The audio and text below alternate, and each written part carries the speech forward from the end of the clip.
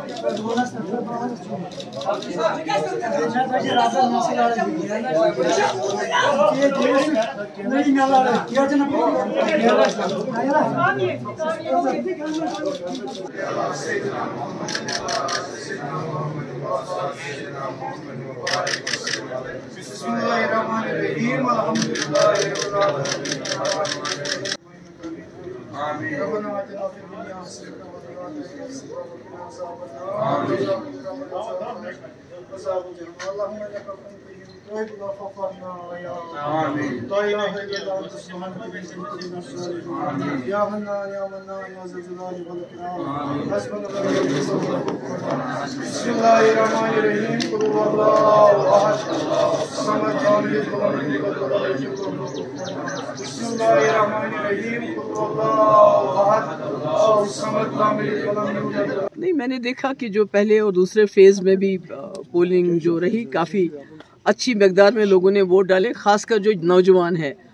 तो यहाँ मुझे साउथ कश्मीर में उम्मीद है कि लोग नॉर्थ कश्मीर से भी काफ़ी रिकॉर्ड तोड़ के यहाँ पोलिंग करेंगे, वोटिंग करेंगे।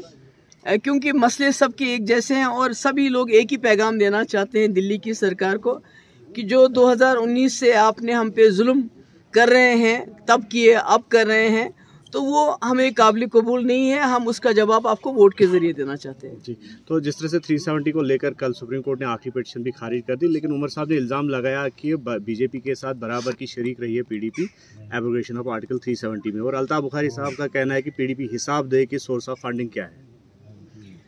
देखिए जहाँ तक उमर साहब का सवाल है 1931 से लेके जम्मू कश्मीर को लेके जितने भी फैसले हुए हैं जितने भी माहदे हुए हैं वो उनकी जमात ने किए हैं। मैं माहिदा नहीं कहूँगी मैं उनको बोलूँगी सरेंडर जो हुआ है।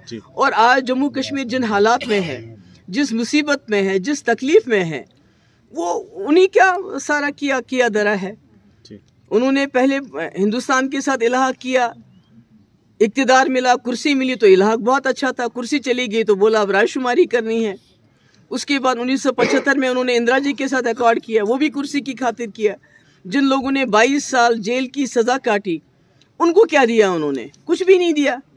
उसके बाद कांग्रेस के साथ अकॉर्ड करके मकबूल भट्ट को फांसी दी। वो उसका मुआहदा का वो नतीजा निकला। उसके बाद दूसरा अकॉर्ड किया फारूक साहब और कांग्रेस में हो गया।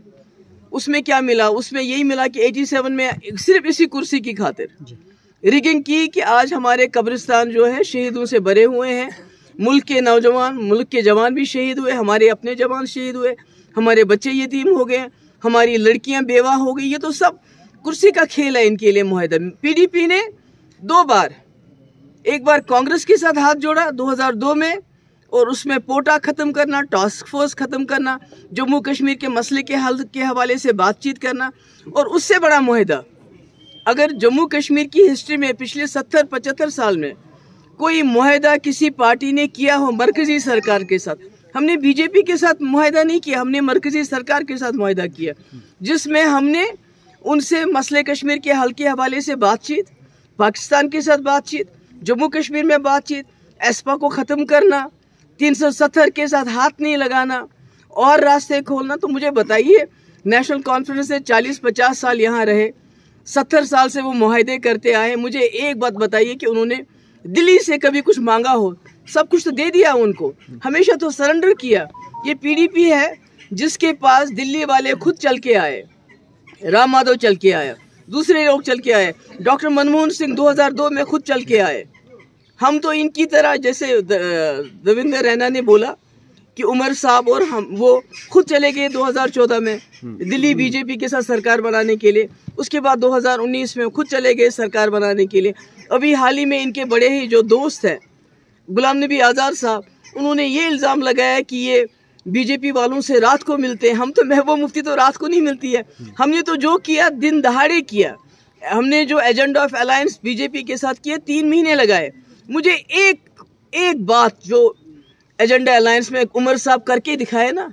करके दिखाए मुझे इनके पास सठ एम थे।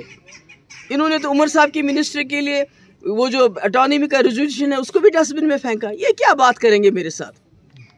महबूबा मुफ्ती ने 12000 नौजवानों की एफआईआर वापस ली बीजेपी सरकार में। सीज फायर कराया बीजेपी के सारे डेलीगेशन मिनिस्टर अरुण जेटली तक को यहाँ लाया और यहाँ बातचीत के लिए उनको आमादा किया, मगर यहाँ हुरियत वालों ने दरवाज़ा नहीं खोली तो महबूबा मुफ्ती क्या कर सकती है?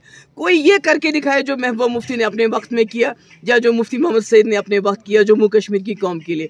हमने तो कौम को इस खून खराबे से बाहर निकालने के लिए हर इकदाम उठाए। इन्होंने तो सब कुछ अपनी कुर्सी के लिए किया। आज भी पिछले पाँच साल से एक ही राग अनाप रहे हैं। इलेक्शन करो इलेक्शन करो असम्बली का इलेक्शन करो, क्योंकि कुर्सी के बगैर ये लोग रह नहीं सकते।